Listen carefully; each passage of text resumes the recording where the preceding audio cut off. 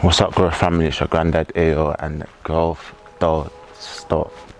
So, what I need you to do to go that little extra mile, to go that little bit further in increasing your discipline once you've done the daily pledge, once you've created your vision board. If you haven't already done that, make sure you watch the other two discipline videos I already have out.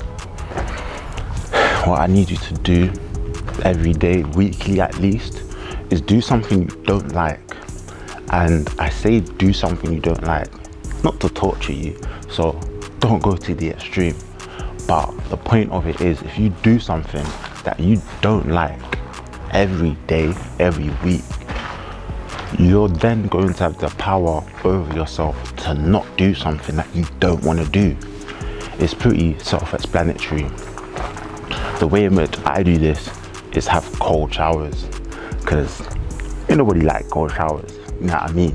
So I'll sit in a cold shower for like five, ten minutes. Um, maybe just five, two minutes because I can't let them showers take long. But um, yeah, once you sort of push yourself, once you push yourself to sit in that shower or to do whatever it is that you don't want to do, you're gonna have that power now over yourself to not do the things that you don't want to do.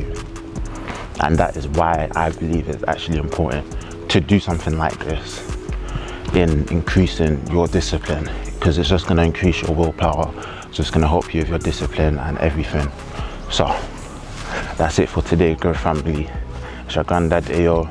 I know it's a short video, but I've got a nice big long video coming up and I'm just still working towards that. So I really hope that you guys um, enjoy this. Please like, comment and subscribe.